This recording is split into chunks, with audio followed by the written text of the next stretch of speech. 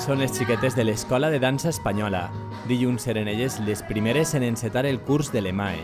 L'ensenyament d'arts escèniques arranca temporada i enguany ho fa amb novetats. A les disciplines habituals de dansa i teatre se sumen de noves a demanda de pares i alumnes. Tenim com a novetats eh, el que és la dansa creativa, que serà els dimarts per la vesprada a les 5 i mitja, on obrim les portes per primera vegada xiquets i xiquetes de 3 anyets.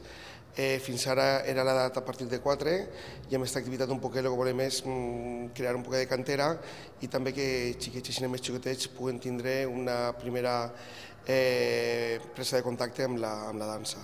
A banda també, ja s'ha sol·licitud d'algunes mares, els divendres eh, ofertem el que és dansa del ventre per a xiquetes a partir de 9 anys i el que és ball o dansa Bollywood, ahir a partir de 6 anys.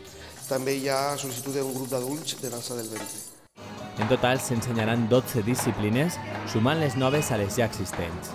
El creixement que això ha suposat fa que des de l'EMAE es mostren contents amb unes inscripcions que superen els 140 alumnes.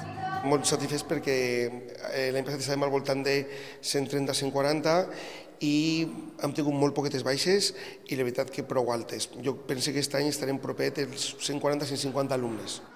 Durant aquestes dues primeres setmanes es pot provar de manera gratuïta qualsevol de les disciplines que s'ensenyen a l'EMAE, una bona manera per decidir què és el que més agrada. Les activitats són de vesprada a la llar jove. El projecte d'Escola Municipal d'Arts Escèniques té la finalitat de promoure l'expressió artística i comunicativa.